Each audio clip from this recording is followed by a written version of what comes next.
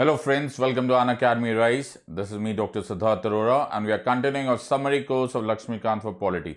Now हमने last chapter में last video में we had done with the concept of judicial activism और मैंने तभी बोला था कि judicial activism को हम continue करेंगे in the form of public interest litigation. Actually सच ये है कि judicial activism की real manifestation is nothing else but public interest litigation. Now public interest litigation is huge, huge, huge parts of judicial activism apart from the several other parts here. So today we are going to deal with public interest litigation. Now the point about here is कि जिस तरह से लक्ष्मीकांत में दिया हुआ है I am going to confine myself to that part but having said so please keep an eye on the current affairs okay current affairs को देखते रहना पब्लिक इंटरेस्ट लिटिगेशन में बहुत सारे क्वेश्चन करंट अफेयर्स में होते चले जाते हैं right so we look into that as and when we go in the plus courses But for the time being, let us concentrate on summary course of Lakshmikant. So this is about me. I'm Dr. Siddharth Arora. I'm a practicing advocate in the Supreme Court of India. And this is about the plus course, my friends. First of all, an announcement for all of you. The plus courses charges are going to be revised in the first week of October. Okay. So what I'm suggesting of you here is that all of the all of you जितने भी लोगों में तुम में से जो interested है या वेट कर रहे थे या किसी को रेफर कर रहे थे या they want to join plus course the time is now okay so whatever amount जो मैं अभी बता रहा हूँ right will be open to within the, a few months, a few weeks from here. So two weeks ka time hai. So now that I'm making this video, it's around second week of now. So तुम्हारा दो हफ़्ते का time है please ensure that you start even if you are taking a decision तो जो पैसे बच रहे कम से कम वो बचा लो this is very crucial because as it is so economical why do want to unnecessarily waste more money right so please ensure that आप अपने आप अभी के अभी ये कोर्स ले लो ना प्लस कोर्सेज तुम्हें बहुत हेल्पफुल होंगे with regards to your structured coaching अगर आपकी स्ट्रक्चर्ड मेंटोरिंग की ज़रूरत है फॉर सिविल सर्विस एग्ज़ाम आपके लिए plus courses are awesome okay सारे के सारे प्लस कोर्सेज सारे के सारे एजुकेटर्स इंडिया के बेस्ट एजुकेटर्स ने अपने प्लस कोर्सेज इस प्लेटफॉर्म में बनाए।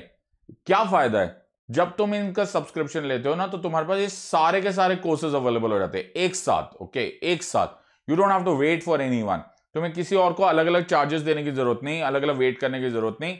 ऑल दीज कोर्सेज प्रिलिम से लेकर मेंस तक ऑप्शनल तक, सबके कोर्सेज मेरा पॉलिटिकल कोर्स किसी का history geography faculty all the best the educators in India along with an awesome test series जो तुम्हें एग्ज़ाम सेंट्रिक प्रिपरेशन में मदद करेगा।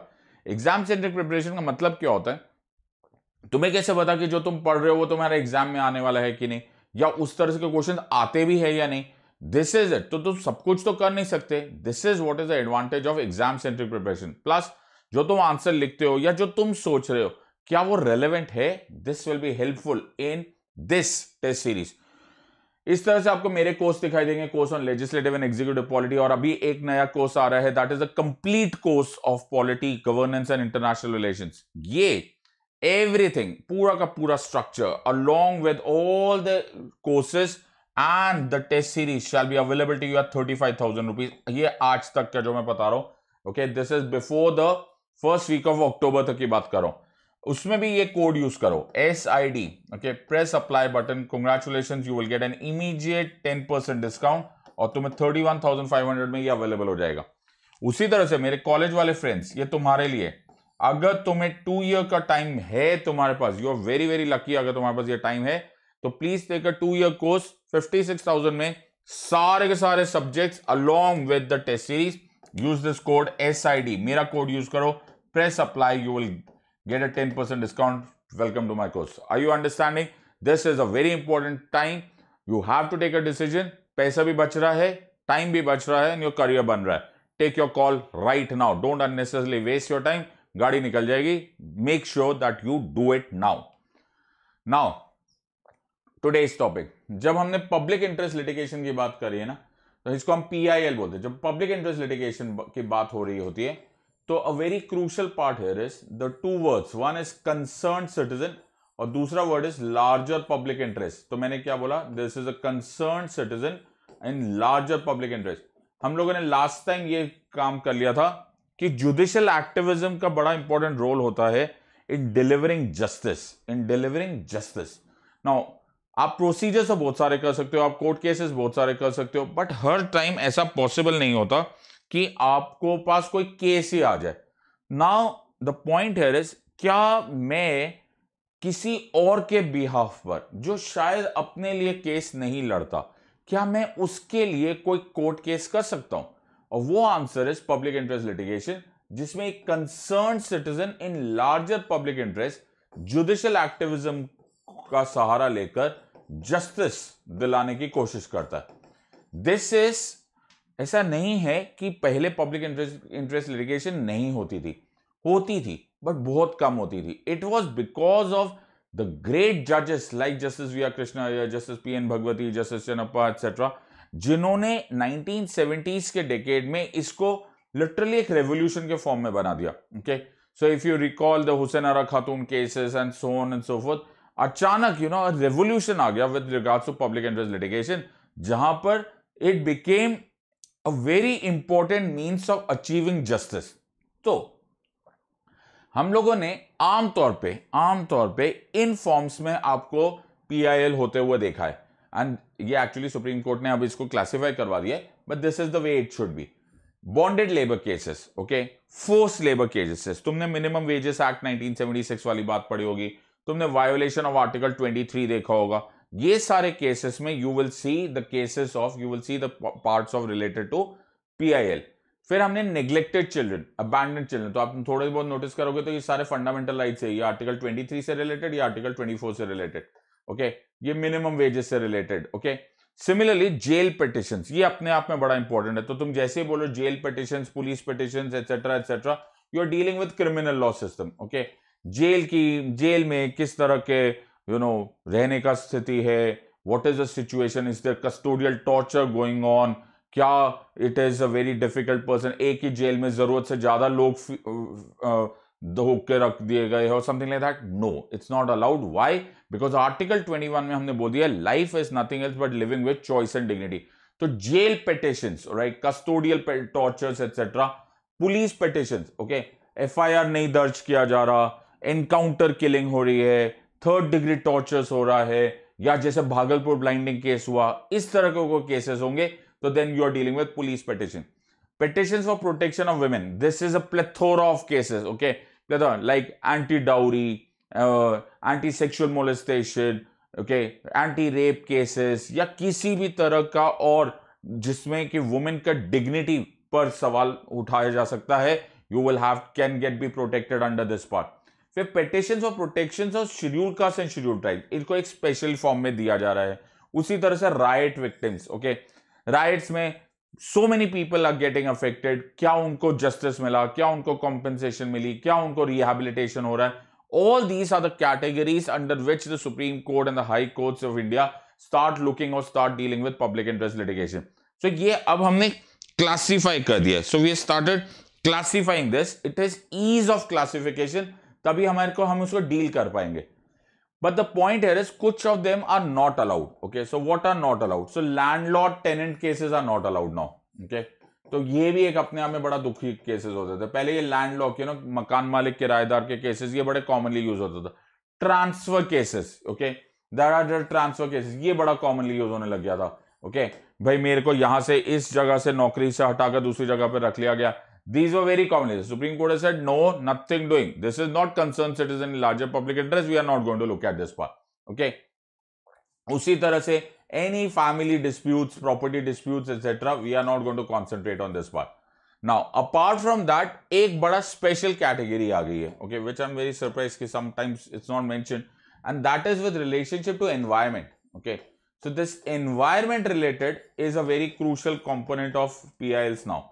And one more is in national interest तो अगर तुम्हें M L Sharma versus Narendra Modi वाला case मालूम है so you will see national importance में which is popularly called is a Rafale case या फिर द सुप्रीम कोर्ट जजेस एसेट केस ओके या फिर when you see in interest of आपने justice Loya murder case okay उसमें P I L या फिर एंटी लिंचिंग के लिए people have move PIL these are on national interest so we have classified we have categorise जितना categorisation easy होगा, उतना easily होगा for the courts to deal with these matters and deliver justice otherwise you know पहले हम इसी पे चले जाते हैं कि आर्बिट्ररी तो नहीं है, कहीं अपने आप से तो नहीं हो रहा। Hence these are the broad categories of the B अब स्पेशल फीचर्स क्या है? एक चीज़ तो मैंने तुम्हें बता दी it is concern citizen in larger public interest दूसरा इज़ लोकस स्टैंड है लोकस स्टैंड है क्या? क्या लोकस स्टैंड आमतौर पर वो रूल होता है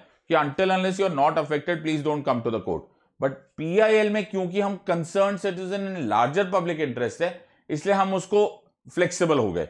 उसी तरह से प्रेमा फेसाई मुझे प्रेमा फेसाई सेटिस्फैक्शन होनी चाहिए।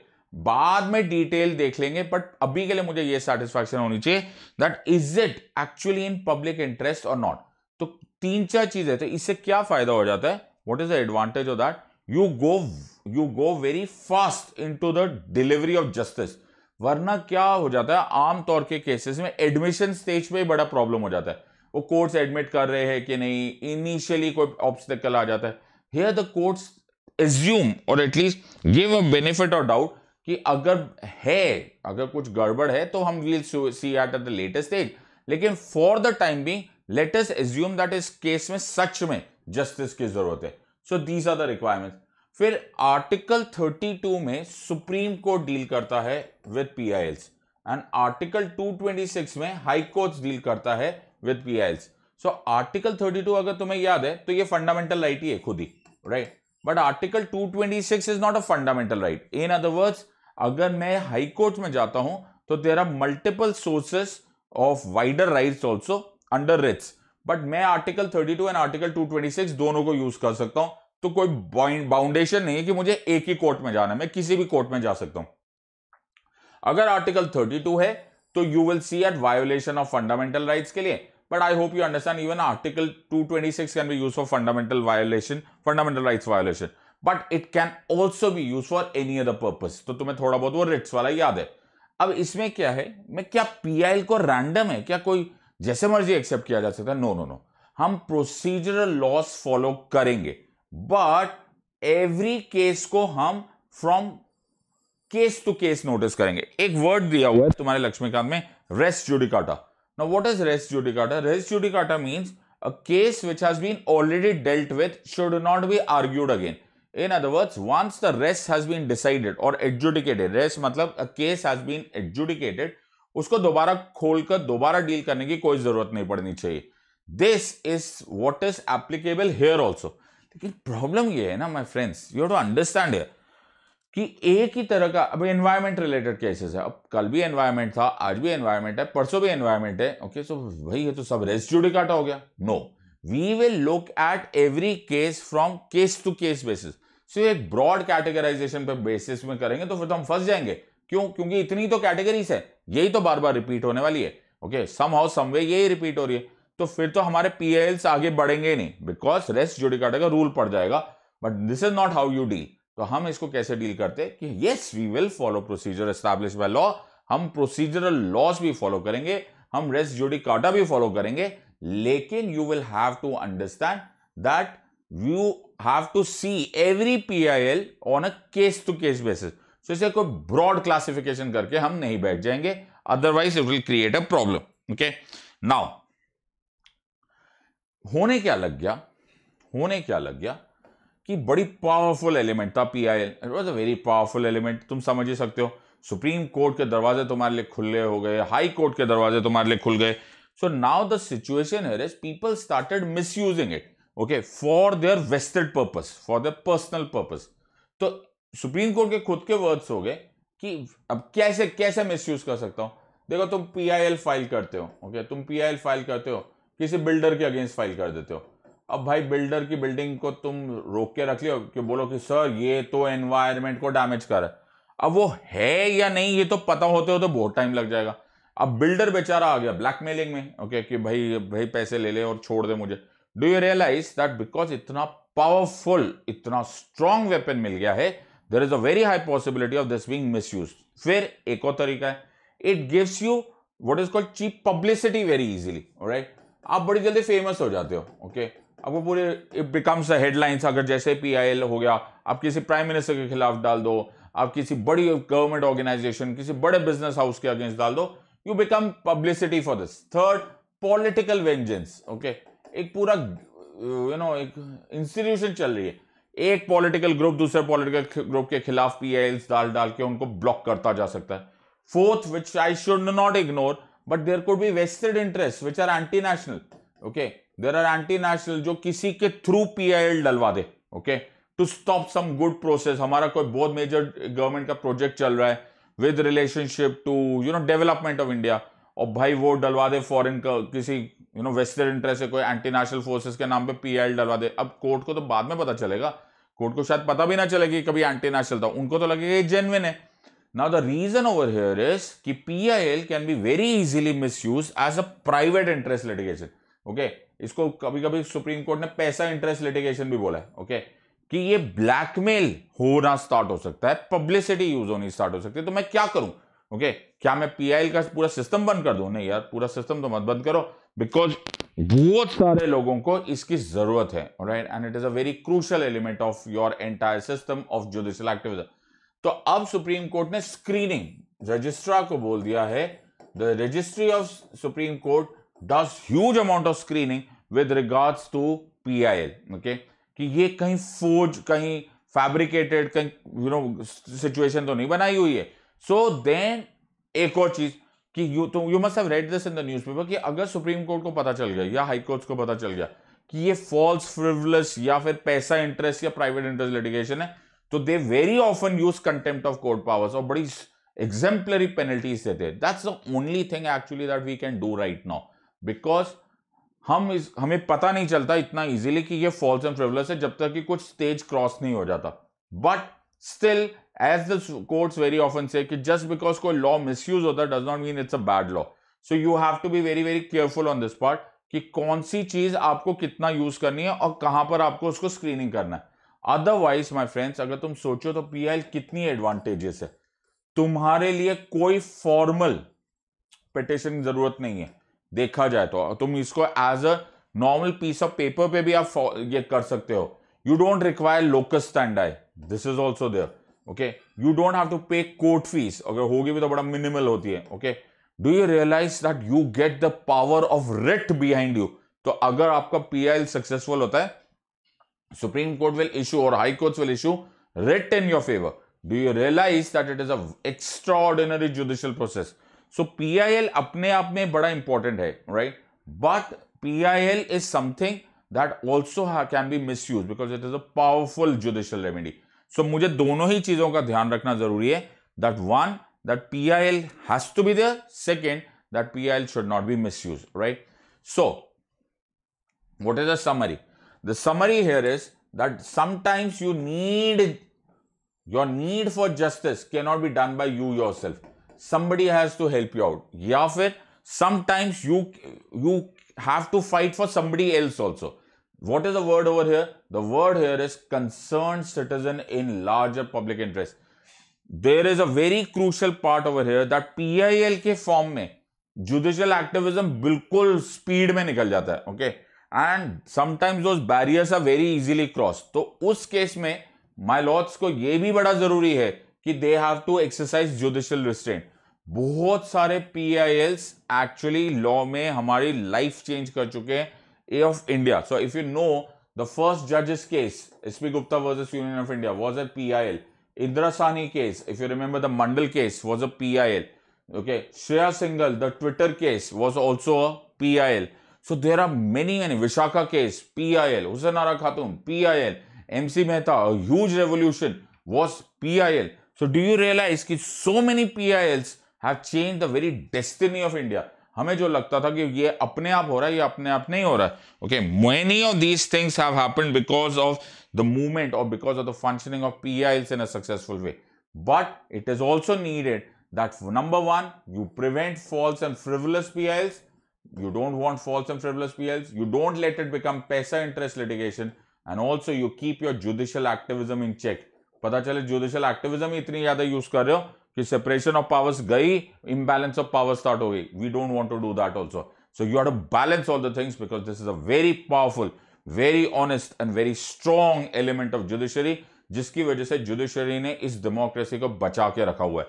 बट पीपल इसका मिसयूज करने में पीछे हटते नहीं and therefore it becomes now the double responsibility of the judiciary that not only PILs being used, but PILs be stopped from misuse.